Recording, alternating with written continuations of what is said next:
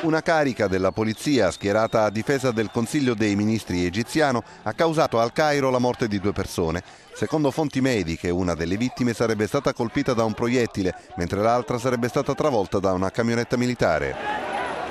La violenza è esplosa quando le forze dell'ordine hanno tentato di disperdere i manifestanti che da ieri si sono raccolti davanti alla sede del governo.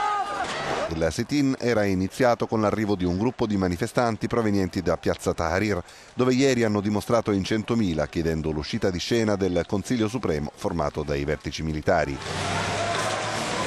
Appena questa richiesta è stata rinnovata davanti al palazzo del governo, la polizia militare ha iniziato a lanciare gas lacrimogeni, scatenando la bagarre.